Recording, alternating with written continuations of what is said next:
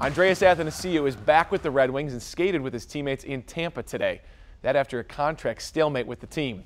The 23-year-old said he was never bitter, just wanted to play hockey. But he did say the reality of leaving the team was real.